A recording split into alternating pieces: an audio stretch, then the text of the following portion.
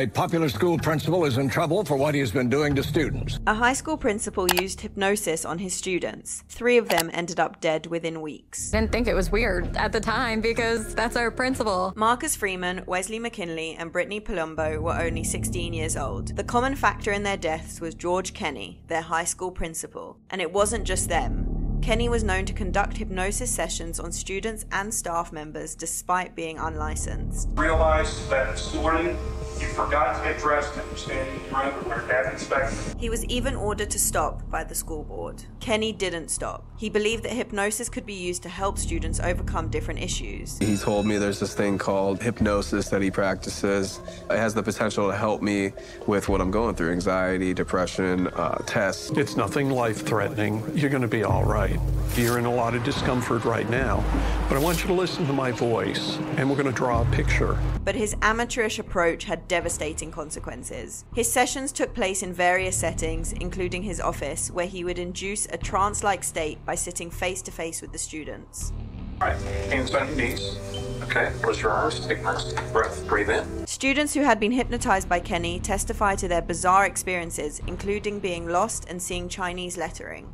Some even claimed that they had been hypnotized multiple times. I felt comfortable doing that because his mother was there. I would not have let him put his head on my leg if there weren't somebody else in the room. Marcus Freeman, a football player at the school, had sought Kenney's help to enhance his focus during games. He found the hypnosis sessions beneficial and even learned self hypnosis from Kenney.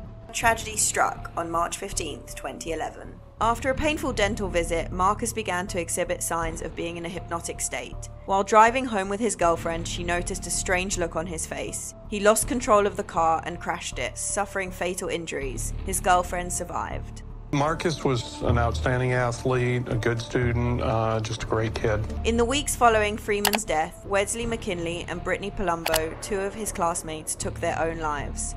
Wesley, a talented guitar player, was in the process of applying to the Juilliard School of Music. He was just so funny and he was so outgoing. And he was the kid that everyone thought was so cute. He had agreed to be hypnotized because he was worried about an upcoming audition and wanted to improve his performance. But on April 8th, a day after his last session, McKinley committed. Brittany was a top student who excelled in math, but she suffered from test anxiety.